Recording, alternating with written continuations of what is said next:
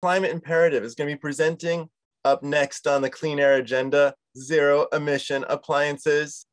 So Bruce is the Executive Director of Climate Imperative. is an energy innovation project to cut carbon emissions at the speed and scale needed to avoid the worst impacts of climate change. For the two years prior to joining Climate Imperative, Bruce was managing director at Rocky Mountain Institute, where he designed and launched the Building Electrification Campaign, which aims to eliminate fossil fuels from 70 million buildings.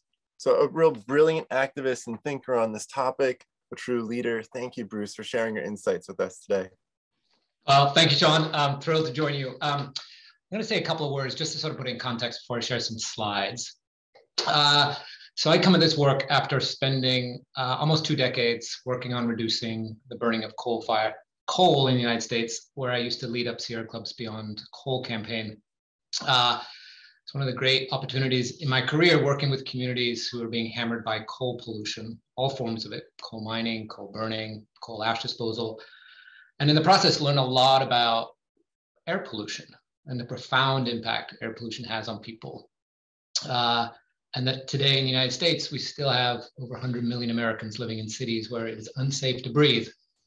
Uh, and when I started that work, there was no question that coal was a big part of that puzzle. And so, in learning all about this air pollution, um, it was this profound aha moment that literally happened just a couple years ago, where I realized that the gas appliances in my home were the biggest piece of my carbon footprint and the biggest piece of the air pollution puzzle in my community. Um, because after doing all this work on coal and thinking about the national debate we had about the urgency of phasing out coal, uh, no one had ever talked about air pollution being um, greatly exacerbated in many parts of our country by the burning of gas in our buildings. Mm-hmm. And so that really set me off on a, on a learning lesson to really understand how big a deal is it? And just sort of some of these strange things that were going on in my life where I was spending my day fighting air pollution and coming home and turning on my gas stove and engaging in that most secret of sacred of practices, cooking dinner for your family, and not putting two and two together that the burning of a fossil fuel in an enclosed space is a really bad idea. Mm. We are warned not to park our car in our garages and idle it because you'll die of carbon monoxide. Mm-hmm. For those of you who love camping, if you read the label, the warning label on your canister when you go cooking, camping, it says warning in big letters do not use an enclosed space. But yet, in my home, and I consider myself fairly well versed on air pollution, no one had ever told me that this damn gas stove was actually a major threat to my family. So let me put this in context with a couple of slides, but just um, it's really been an aha moment. And thanks to you and a bunch of others, um, shoulders of giants I have stood on learning about electrification. Um, but really interested in this air pollution piece because it's uh, it's the next big opportunity to really clean up our homes and our cities across this country and, and, and around the world. So a couple slides to put this in context. Um, all right. So you see my slides? Yes. You want to put Great. it in presenter mode? Great, thank you. And so um, want to start with just sort of the basics, which ground us in how the work ahead on, on addressing air pollution from appliances. Uh, so natural gas. This right now we're seeing, um, if you could pause, go back, uh, you're not in the presenter mode, but instead you have like the, the, the next slide and previous slides. See that. Yeah go down on the bottom, I think there where there's a little that yeah, next to that one. Oh, not that one, next one over, and one after that. To the right. That's the one. Does that work? Well, it's the same. Why don't you just continue? Don't worry about it. For some reason, how's that? It is not. Oh, there. That's it. All right. You're gold. Um, so most of your attendees will know this, but just to ground us. Um, so the climate crisis requires us to not only stop burning coal and oil, but obviously gas. And gas is a particular threat because it's now the fastest growing piece of our climate puzzle. Here's just a couple of recent quotes from climate experts. Um, if we continue to expand gas, there's no way we avoid one and a half degrees of warming. Uh, and the fascinating piece globally is the recent announcement by the International Energy Agency that we need to, over the next couple of years, phase out the sale of all fossil fuel boilers, including water heaters and furnaces in our buildings. So this is the urgency as dictated by the science. So how do we put in place the policies to get us there? Uh, and again, from a US perspective, boiling down to our country, um, a lot of people talk about coal as being a big piece of our carbon footprint. We've made enormous progress on coal. We're almost done uh, with half of coal, and we'll be done with coal in the next 10 or so years. We'll be done with coal by 2030. But look at this yellow line. That's the carbon emissions from natural gas climbing steadily. Uh, that is obviously in the wrong direction if we're trying to solve the climate crisis. So most people are not aware that today in the United States, natural gas emits twice as much carbon, put aside methane for a second, uh, as all the coal burning left in the United States. So gas has to go if we're going to solve the climate crisis. Currently, we're going in the wrong direction in many places. We're digging the hole deeper. Uh, the American Gas Association loves to promote that a new gas customer is being added to the gas distribution system every minute. More than 400,000 um, in recent years, 10,000 miles of new gas pipeline. And all this is with the pretext that we're going to pay for it over the next 30 to 80 years well beyond any reasonable climate targets. Uh, here's some good news and bad news. The good news is these are the states that are growing the fastest, adding the most new gas customers as of uh, 2017 and hold through today. And why the work on gas bans is so important here in California and now spreading around the country. California's been going in the wrong direction faster than any other state in the union, adding more gas customers than any other place, including Texas, uh, because of all the policies promoting gas that have been in place for the last two or three decades. Uh, but it gives you some sense of the places where we can really make a difference, starting with California, but a bunch of other places where the opportunity is to get this going in the other direction as fast as possible. Uh, and this, this just underscores the, the challenge we're in. This is building emissions in the United States from commercial and residential buildings. Yellow is the carbon from gas. The little uh, other lines are oil or propane. There's a methane leakage, depending on your assumptions, um, all to say that building emissions are not coming down anywhere close. They're not coming down, period, let alone aligned with our climate goals. But here's the, the issue that uh, adds a whole new sense of urgency if the, in case the climate crisis wasn't enough. The burning of fossil fuels has profound impacts on public health. The outdoor air pollution, as we all know, that all the gas appliances at our home, with the exception of the gas stove, are required to be vented outdoors for good reason, because if you vented your water heater indoors, you would die from carbon monoxide poisoning. But the outdoor impacts of all of these millions and millions of appliances is that it is now contributing twice as much outdoor air pollution as all the gas plants in the United States. And indoor, these gas stoves in our increasingly tight, our increasingly insulated homes uh, are major threat, uh, particularly to children uh, and asthmatics. Here's the numbers uh, pulled from the EPA National Emission Inventory. This is the amount of nitrogen, uh, oxides and nitrogen coming from gas power plants in the United States, and then you see gas appliances. And the fascinating thing about this is that gas plants actually burn more gas than gas appliances in our buildings. And the reason gas power plants emit less nitrogen dioxide is because we've been regulating them and putting in place measures to protect people from gas power plants for almost 50 years. We've had very, very little effort to, by regulators to date to do something about the health impacts posed by gas appliances.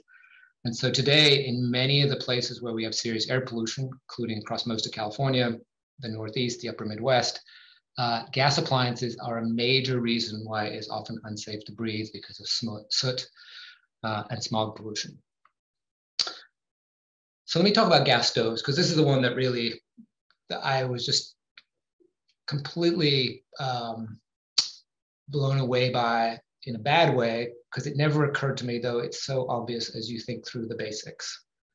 The burning of a fossil fuel inside an enclosed space, particularly as we weatherize and increase insulation and air sealing and all the things that we've been doing for the last 30 years to make our homes tighter, burning a fossil fuel in an enclosed space has profound public health impacts. And the study that really helped illuminate this to me was terrific work by the Lawrence Berkeley National Lab, where they did a bunch of statistical analysis and monitoring homes in Southern California. And they concluded that there are about 12 million homes here in California that every winter, as we close our windows, turn on our gas stoves, that 12 million Californians have lived in homes where it regularly is unsafe to breathe, according to EPA health-based standards for nitrogen dioxide. So let me dig into this a little more. So nitrogen dioxide is a byproduct of burning fossil fuels. It doesn't come from food. And one of the things the gas industry loves to do is try to confuse us by saying, well, you get air pollution from doing anything. Well, that's not true. When you boil water, bake a potato, bake some bread, no one has ever told us that if you're using gas, that you're posing a serious risk to yourself and to your children. So NO2 is a powerful lung irritant. We've regulated it federally since the 1970 Clean Air Act was enacted.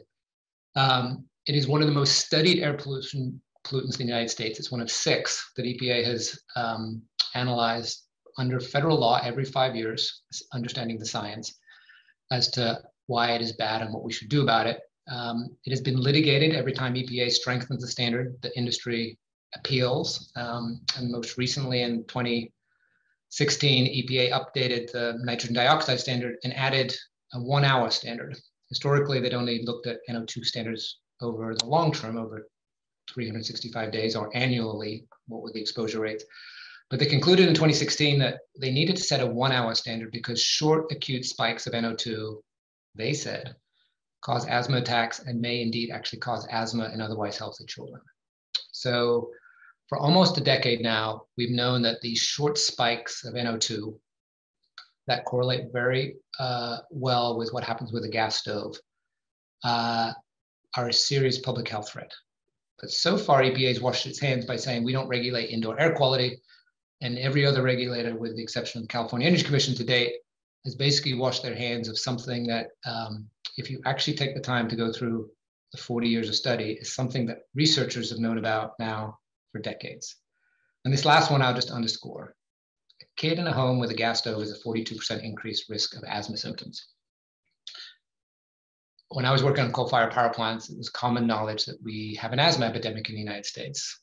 It impacts somewhere between one and uh, 12 kids in the United States. Uh, and the economic cost, in addition to the human suffering, is enormous. We spend about $80 billion in the United States every year treating asthma cases. That includes hospitalizations, nebulizers, inhalers. Uh, here in California, we spend about $12 billion a year on asthma. And about half of that is paid for by the taxpayers because we provide healthcare for low income families. So it's a huge hit, the cost of asthma, the economic cost, in addition to profound health issues. Um, we spend 90% of our time in our homes. We have never put two and two together. The regulators have never put two and two together to ask the question when a kid ends up in the emergency room with an asthma attack, are we sending them right back into a home that the researchers have told us now for almost 40 years is putting that kid at enormous risk of ending back in the hospital. Here's just one of the many studies. Um, straight line correlation. The more gas you use, the greater the risk of asthma. Um, this is one of many studies out there um, showing that there's profound difference in NO2 levels, basically very, very little background what's outdoors. If you have an electric stove, and when you add in a gas stove, particularly a gas stove with a pilot, you see these numbers rising pretty quickly.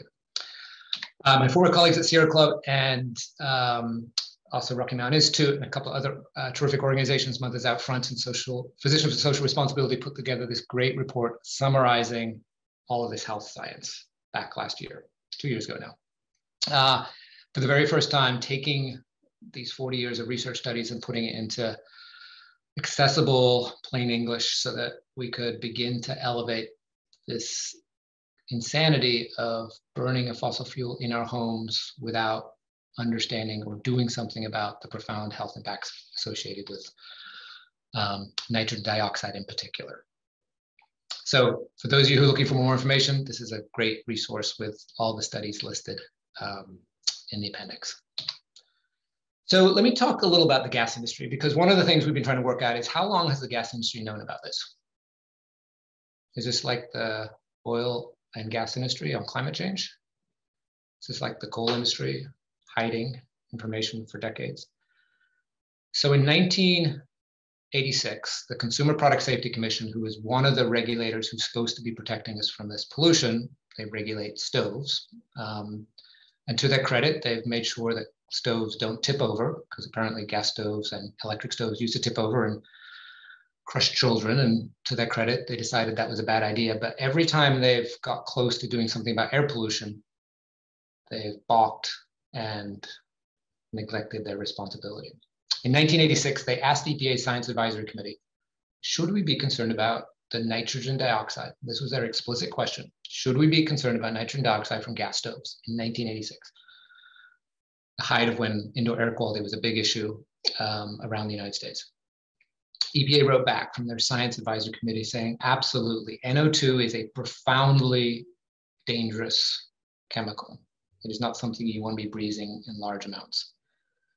So what you, Consumer Product Safety Commission, should do is to measure what are the NO2 levels that are happening from gas stoves in people's homes. And if it's above the levels we've determined are safe, we as the expert agency on the health impacts, you should do something about it in 1986 nothing has happened since 1986. And if you go back and look at what each of the regulators have done over the years, they walk up to the edge of saying, well, it's not a good idea to have sources of combustion in your house, but there's literally not a single agency that's actually connecting the science and informing people about the dangers associated with it. The gas industry is going even further and is deliberately um, trying to promote this product without any warning. Uh, there's a great piece in Mother Jones, which is what this slide is from. And you can see one of their many Instagram uh, advertising pieces is this great gas stove with no ventilation.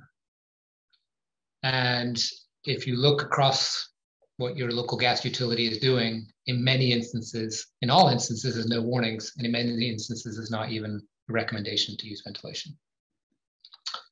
So indoor and outdoor air pollution, a profound impact from gas appliances. Um, so what can we do about it and who should be doing something about it? So it turns out that the regulators have broad authority. This is not a matter of Congress needs to do something. This is that the agencies responsible for protecting us need to do what they've been empowered to do for many, many years. So EPA has a long history of regulating various sources of air pollution, everything from coal-fired power plants to wood stoves. And the way they do it is typically they assess how big a con contributor to the air pollution problem across the United States are various kinds of uh, products or devices, boilers, and then set standards based on the best available science, best available technology. So EPA has set standards, for example, for wood stoves to cut down dramatically on the amount of pollution um, being emitted by wood stoves, which are also a big source of urban air pollution in many cities. EPA set standards for um, cement plants and steel plants and power plants. Uh, and they have broad authority to also be setting what are called new source performance standards for furnaces, water heaters, and other gas appliances like dryers. We approached uh, EPA and others to urge them to start thinking about getting serious about doing something about building, given the huge impact on public health and climate. Uh, one of the great uh, partner organizations out there, um, the New York um, uh, School of Law Institute for Public uh, Integrity, wrote a long piece laying out EPA's broad legal authority to do this, to set standards for furnaces, water heaters, and gas appliances, other gas appliances. Uh, and there's wide agreement that there's, there's only thing holding back EPA is the political will to do something. So particularly exciting on this front is that um, thanks to the work of many advocates, um, this work is actually already underway at the local level here in California. So the Bay Area Air Quality Management District that is responsible for protecting air quality here in the Bay Area is in the middle of a rulemaking to set what will be the first air quality standards for um, gas water heaters and gas furnaces and are planning to issue those draft rules as soon as um, this year. It will be the first in the nation. just like little old Berkeley was the first to ban gas in new buildings and spark a national and global debate about the urgency of phasing out gas in new buildings, the Bay Air Air Quality Management District is poised to be the first to really have regulators taking seriously the profound public health and climate impacts associated with appliances and begin to set increasing standards on manufacturers to supply us with more and more zero emission appliances, i.e. all electric appliances. That is also under consideration now at the Air Resources Board, our state agency that's responsible for air pollution issues uh, statewide here in California. It's an urgent need and there's uh, significant interest because the state, as those of us who live here know, there's 30 million of us who live in counties where it's regularly unsafe to breathe, particularly folks living in the LA um, and in the Inland Empire and Central Valley parts of California, where gas appliances are contributing today more pollution than all the light duty vehicles, cars, and SUVs on our highways. So they are eager to um, start setting standards for appliances as well. And also over in New York, on the other side of the country, the state of New York, as a part of its climate plan, is also beginning to set uh, standards for gas appliances as well. So this is the sort of vanguard opportunity for regulators who have deep experience on addressing public health issues, getting serious about a part of the puzzle they have basically missed for the last few decades, other than some very modest um, reductions that were required in California about 10 years ago. Then on indoor air quality, uh, this is where the Consumer Product Safety Commission needs to step in and assume all the authority that they've been given to protect consumers from the threat of um, the air pollution from gas stoves. And I see it, I um, somehow missed a piece of my last sentence here. So Consumer Product Safety Commission has broad authority over gas appliances. Uh, they can and should be providing warning labels or requiring the manufacturing manufacturers to install warning labels. Um, and also, as advocates have been uh, pushing here in California, requiring automatic ventilation. It's not good enough just to warn people because obviously there are many users of gas stove who may not read. I'm thinking of my children um, or people who don't speak English as a first language. Uh, the only way to make sure gas stoves would be safer would be to require automatic ventilation. Uh, and that falls broadly within the authority of the Consumer Product Safety Commission. And last but not least, of course, um, we need to make sure that this transition is equitable, both on the appliance standards and also on the getting the gas stoves out of about 40 million buildings in the United States uh, and that will require additional resources from the state and federal government. A couple more slides here. Um, uh, this is just a slide um, that my friends at Rocky Mountain Institute pulled together just to sort of give a further visualize, visualization of what the appliance standards look like. Uh, so what the state of California did about 10 years ago is they did a very minor turn on setting lower NOx standards for water heaters and furnaces. So basically cracked open the door, asserted their authority, got sued by the manufacturers, they won. And today in California, the water heaters and furnaces we sell are slightly lower NOx emissions than in the rest of the country.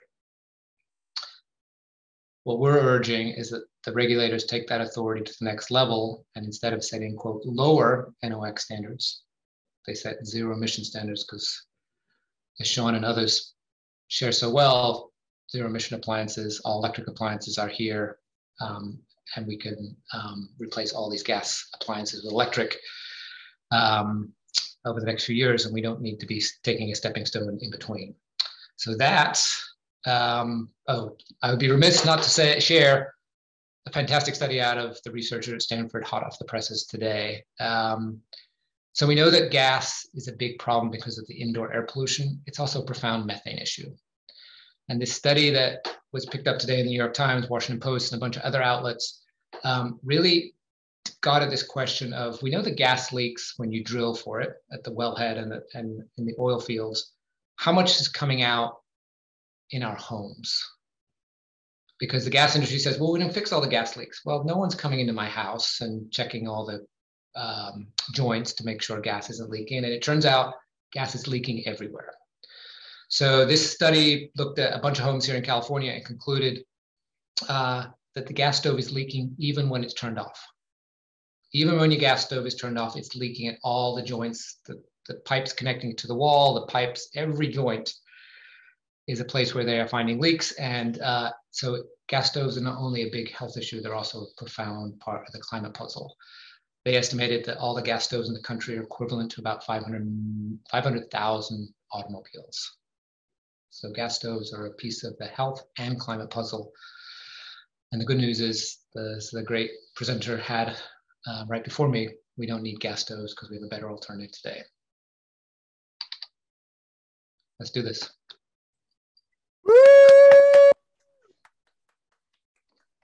Fantastic, Bruce. Hey, um, a question for you from Tom Cabot, one of our wonderful electrification peers. Um, Bruce, can we ask the EPA to require a zero NOx standard for appliances in non-attainment states or non-attainment counties? This would encourage air district action like ones under consideration by the BAAQMD later this summer. What do you think? Um, so the advocates are um, already talking to EPA about how do they do this because EPA has broad authority to set zero, uh, zero, standards. That's what the good folks at NYU Law School laid out in a 20-page legal memo. Mm. Um, and so really this is the only thing holding us back is our ability to push and support EPA to do it. And having the Bay Area Air Quality Management District going first, having the states demonstrate how to do this will only further empower EPA. okay, so this is one of those examples like our municipal leadership has made a big difference in the state and the national conversation. Like all these opportunities where we have little organizations that can make strong policies, show how it gets done, and then expand elsewhere and, and have a whole bunch of them, ideally, so the very best of the best float to the top. That's right. And that's how we've done policy over many issues, right? You have states and local jurisdictions set policy, work out that it's a good issue, people are excited about it, that it provides real benefits, that it works economically, that we can do so equitably.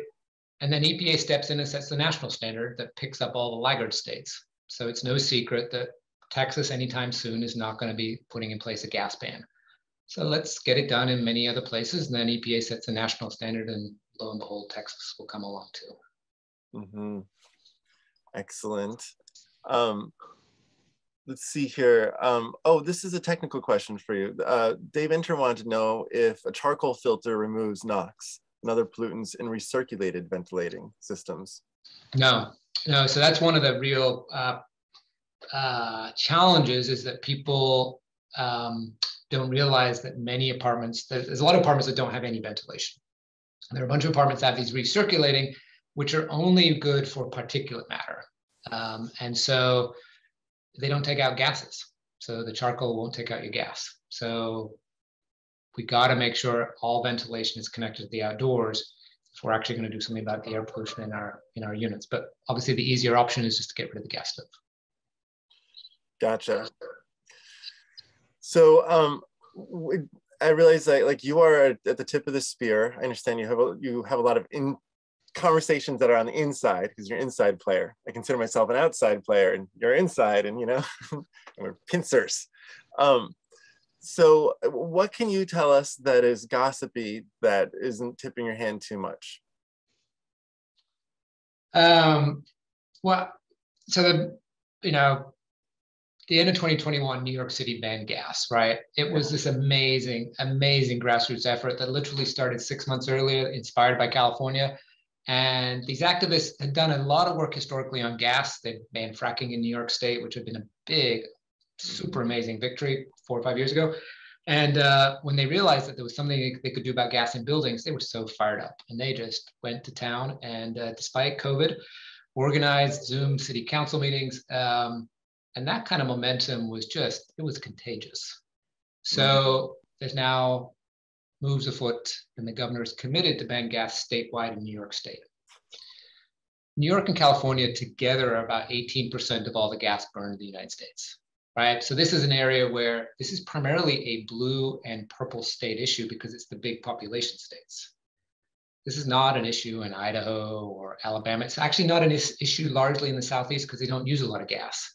Mm-hmm. As you know, Sean, they never they never went to gas because they went to resistance electric and they said, man, this efficiency stuff and this other stuff, we're just going to keep being inefficient, but it was all electric.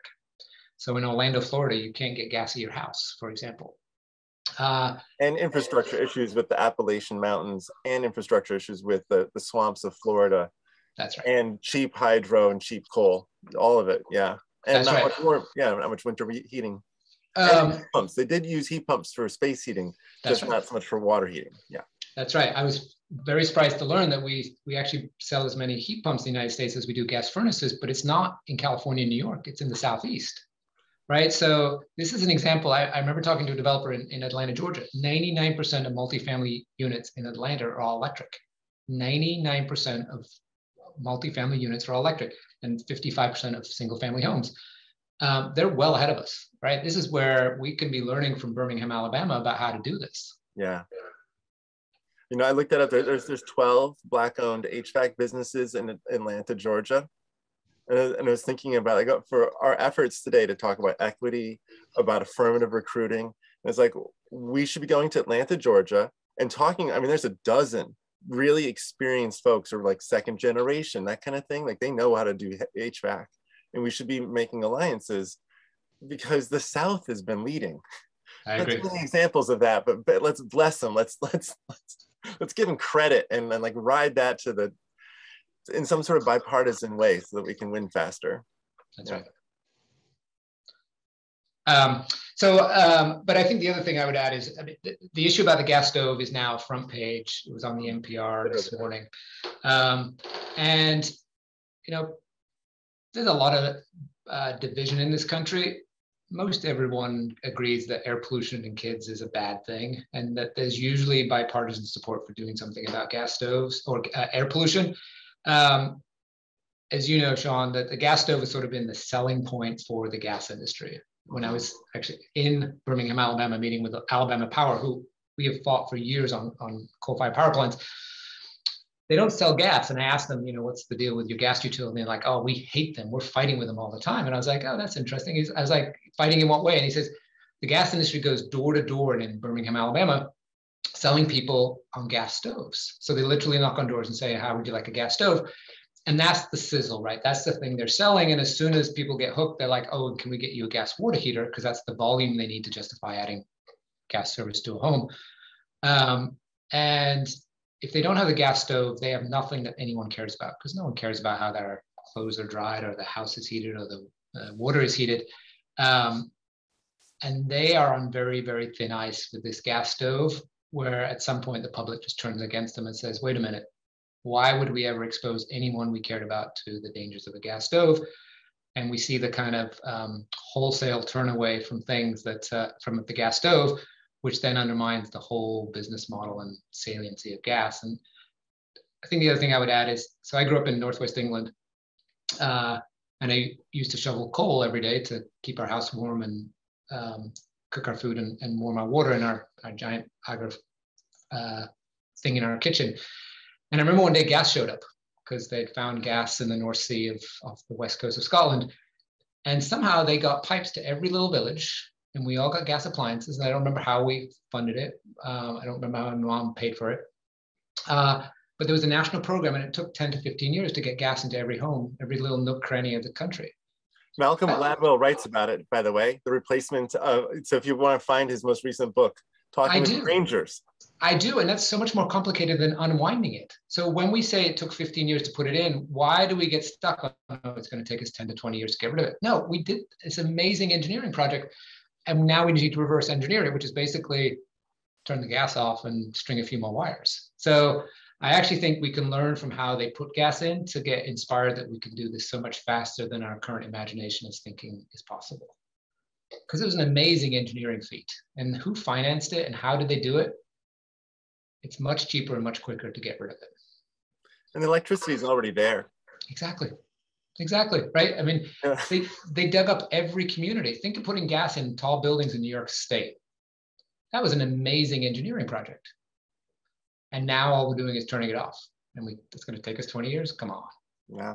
The electricity wires are already there. We just have to be like power efficient and we could use the same buildings with just electrify them. We, have seen this with um, talking with a bunch of different commercial electrification engineers and their assertion basically that there's usually enough power there already because all the old stuff they're replacing that's 40 years old is really energy intensive and the new stuff is so efficient. So even though they're adding fuel uh, energy sort like they're electrifying the, the cafeteria or whatever, um, there's enough power there. Right. It's just out of efficiency. And you're like, oh, like LED lighting, you know, just that can create huge amounts of power availability. Yeah, I think this can go a lot faster. So since this is a goss gossipy thing, do you you you think it's going, going to go faster than say phasing out coal, which you played a lead role in. So how long do you think it, before you got an exponential curve? And like, if you were to use your prior experience to look at electrification of, of natural gas loads, what's your thinking? So we started returning coal plants about 10 years ago and we're halfway done. So it's about a 20 year project. Uh, and so what I like about the gas issue if you take care of California, New York, and Michigan, you're at 25%, or Illinois. Um, so you can do big... I just want to like give a pitch for Marnise, who's presenting. Um, let's see, she's from Pontiac, and she's gonna see this. Yeah, Marnise at three o'clock today. The Midwest Building Decarbonization Coalition, Pontiac, Michigan. She's gonna be great. This is gonna be a fun one. So yes, Michigan, continue. That's right. So those those blue or purple states in the upper Midwest have always done amazing things on climate. Some of the first renewable portfolio standards, adopting car and truck standards today. Um, this is the next big opportunity. And Marnise and team are really on the cutting edge of helping that region, which obviously has the cold climate issue, right? So unlike most of California, where we have a fairly mild climate, um, they get to use all those new low uh, cold temperature heat pumps and demonstrate as they are in Massachusetts and Maine and Canada, um, we can do this without burning a lot of fossil fuels. In Alaska, you know, there's some great electrification work that's leadership up in Alaska, big buildings, small homes, tribal, uh, you know, tribal housing up in central Alaska using heat pumps. Like, that's right. Yes, we can do this. That's right. And because they're so cold, they consume a lot of gas, right? So there's a real opportunity to take a big chunk of this puzzle, get it done, uh, if we can move the Minnesota, Illinois, Michigans of the world. And they all have climate leadership uh, governors who are committed to doing something about climate change. Woo! Well, um, I'm going to take a 20 minute break to, away from the computer to refresh myself. And thank you, Bruce. Anytime, Sean. Thank you for all you're doing. So um, for everyone else, I hope you don't leave. Just come back at 1.30. We're going to be starting punctually with Payam. Payam uh, Bozorg, um, Bozorgchami is uh, going to be talking about the 2022 code, the one that is the first sort of heat pump requiring code in our country and uh, has been leadership at the Energy Commission since 2005, technical leadership.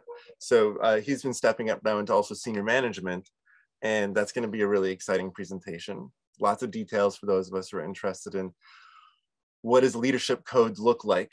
This is definitely a successful leadership code, both with a significant addition of mandated PV on lots of different building types, like not just low-rise residential, like the last code. Now it's going into all sorts of different residential type buildings, non-residential type buildings. So um, really delightful stuff. So, but with that, like I said, I'm gonna give myself a couple minutes of a break. I'll put up like a cute slide and uh, we'll see y'all soon.